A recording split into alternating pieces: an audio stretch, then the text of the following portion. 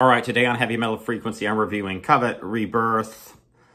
This is Covet's first album with their new rhythm section, and it's slightly harder than the first two Covet albums. There are some shoegaze elements and other stuff. It's not a metal album by any stretch of the imagination, but there's it's more dynamic.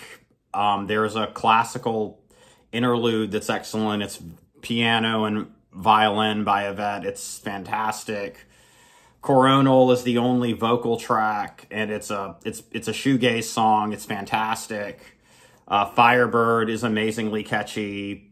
It's about uh, it's based off of the fact that her uh, her mother worked incredibly hard to buy a Firebird that she loved, and it's incredibly catchy. I love this song. Bronco's excellent. Um, Smolder is a little bit darker. It, it this kind of goes harder in some places than her first two albums. Uh, Love Spell has a little bit of an 80s vibe to it. Um, uh, the sax player from Minus the Bear does a uh, sax solo on it, which is a very 80s thing to have sax solos all over the place. Um, Merlin has some really neat effects to it and uh, some of Yvette's comments on that track. It's supposed to sound like spells going back and forth.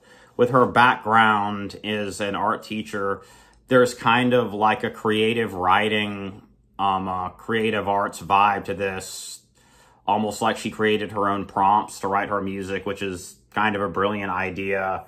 And I know she does do that. Um, I absolutely love this. I suggest you pick up a copy normally I would give advice as to what order you listen to albums in, but uh, with Covet, anything goes, everything works. Uh, this is definitely a contender for album of the year, and uh, please pick up a copy if you can, when you can, and uh, have a good day.